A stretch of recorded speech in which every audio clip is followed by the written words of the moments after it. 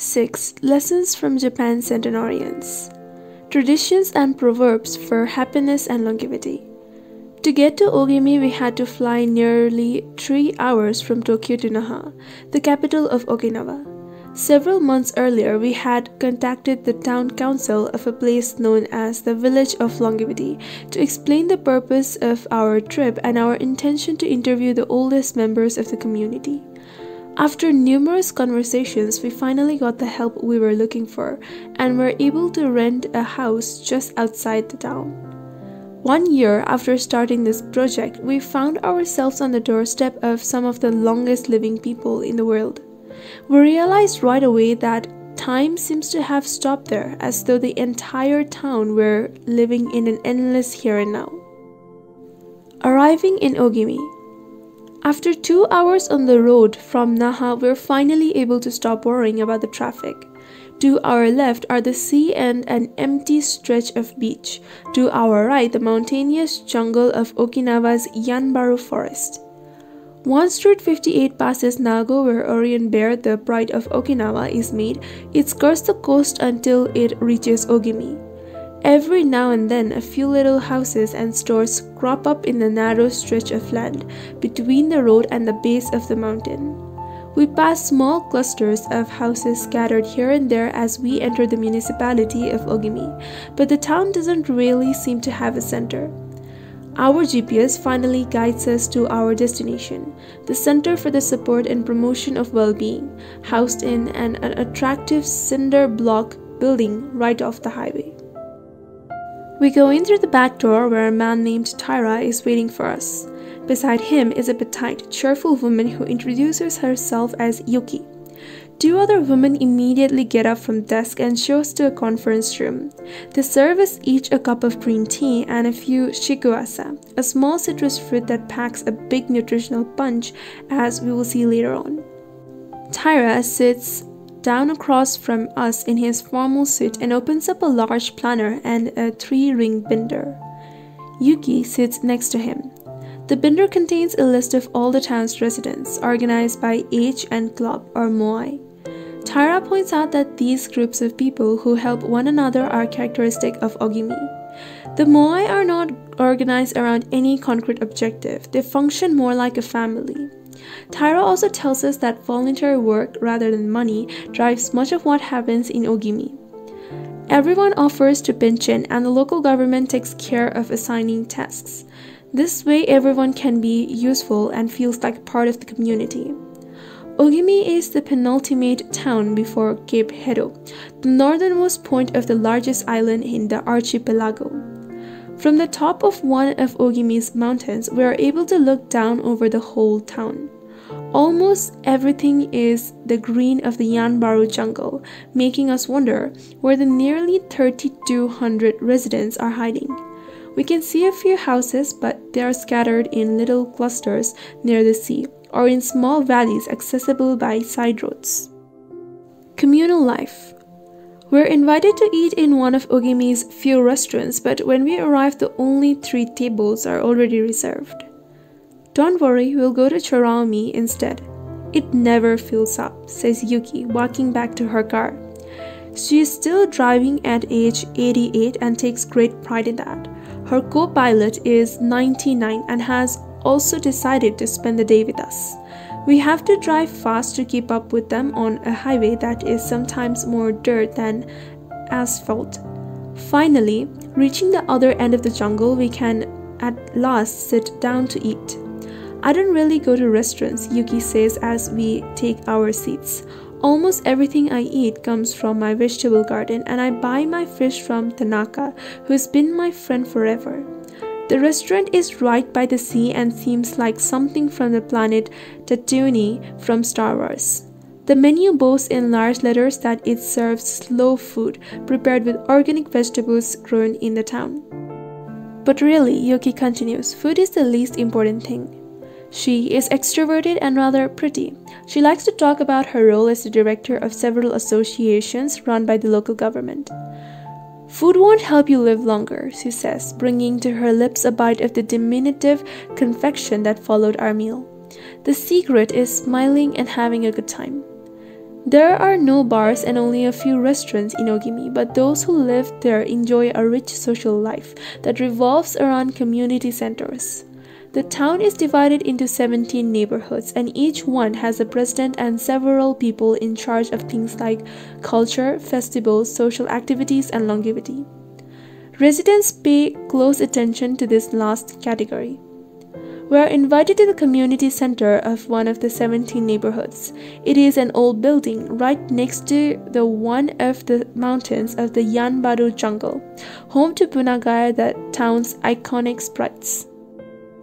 The Bunagaya spirits of the Yanbaru jungle. Bunagaya are magical creatures that inhabit the Yanbaru jungle near Ogimi and its surrounding towns. They manifest as children with long red hair and like to hide in jungles, gajumaru, banyan trees, and go fishing on the beach. Many of Okinawa's stories and fables are about Bunagaya sprites. They are mischievous, playful, and unpredictable. Locals say that the Bunagaya love the mountains, rivers, sea, trees, earth, wind, and animals, and that if you want to befriend them, you have to show respect for nature. A birthday party. When we arrive at the neighborhood's community center, we're greeted by a group of about 20 people who proudly proclaim the youngest among us is 83. We conduct our interviews at a large table while drinking green tea. When we finish, we are brought to an event space where we celebrate the birthdays of three members of the group. One woman is turning 99, another 94, and one young man has just reached 89. We sing a few songs popular in the village and finish up with happy birthday in English. The woman turning 99 blows out the candles and thanks everyone for coming to her party. We eat homemade shikuasha cake and end up dancing and celebrating as though it were the birthday of a 20 something. It's the first party, but not the last, that we'll attend during our week in the village. We'll also do karaoke with a group of seniors who sing better than we do, and attended a traditional festival with local bands, dancers, and food stands at the foot of a mountain. Celebrate each day together. Celebrations seem to be an essential part of life in Ogimi. We are invited to watch a game of kickball, one of the most popular sports among Okinawa's older residents. It involves hitting a ball with a mallet like stick. It is a low impact sport that can be played anywhere and is a good excuse to move around and have fun as a group. The residents hold local competitions and there is no age limit for participants. We participate in the weekly game and lose to a woman who recently turned 104. Everyone cheers and the defeated look on our faces elicits laughter. In addition to playing and celebrating as a community, spirituality is also essential to the happiness of the village's residents. The gods of Okinawa the main religion in Okinawa is known as Ryukyu Shinto. Ryukyu is the original name of the Okinawa archipelago, and Shinto means the path of the gods. Ryukyu Shinto combines elements of Chinese Taoism, Confucianism, Buddhism, and Shintoism with shamanistic and animistic elements. According to this ancient faith, the world is populated by an infinite number of spirits divided into several types spirits of the home, of the forest, of the trees, and of the mountains. It is important to appease these spirits through rituals and festivals and by consecrating sacred grounds. Okinawa is full of sacred jungles and forests, where many of the two main kinds of temples are found the Utaki and the Uganju. We visited an Uganju or small open air temple adorned with incense and coins next to a waterfall in Ogimi. The Utaki is a collection of stones where people go to pray and where supposedly spirits gather. In Okinawa's religious practice, women are considered spiritually superior to men, whereas the opposite is true of traditional Shintoism in the rest of Japan. Uta are women chosen as mediums by their communities to make contact with the spirit realm through traditional rites. Ancestor worship is another important feature of spiritual practice in Okinawa and in Japan in general. The home of each generation's firstborn usually contains a butsudan or small altar used to pray for and make offerings to the family's ancestor. Mabui Every person has an essence or mabui. The Mabui is our spirit and the source of our life force. It is immortal and makes us who we are. Sometimes the Mabui of someone who has died is trapped in the body of a living person. This situation requires a separation ritual to free the Mabui of the deceased. It often happens when a person dies suddenly, especially at a young age, and his or her Mabui does not want to move on to the realm of the dead. A mabui can also be passed from person to person by physical contact. A grandmother who leaves her granddaughter a ring transfers a part of her mabui to her. Photographs can also be a medium for passing mabui among people. The older, the stronger. Looking back, our days in Ogimi were intense but relaxed, sort of like the lifestyle of the locals, who always seemed to be busy with important tasks, but who, upon closer inspection, did everything with a sense of calm. They were always pursuing their ikigai, but they were never in a rush. Not only did they seem to be happily busy, but we also noticed that they followed the other principles for happiness that Washington Burnap stated 200 years ago. The grand essentials to happiness in this life are something to do, something to love, and something to hope for. On our last day, we went to buy gifts at a small market at the edge of town. The only things sold there are local vegetables, green tea, and shikuwasha juice, along with bottles of water from a spring hidden in the Yanbaru forest, bearing labels that read longevity water. We bought ourselves some of this longevity water and drank it in the parking lot, looking out over the sea and hoping that the little bottle that promised a magic elixir would bring us health and long life and would help us find our own ikigai.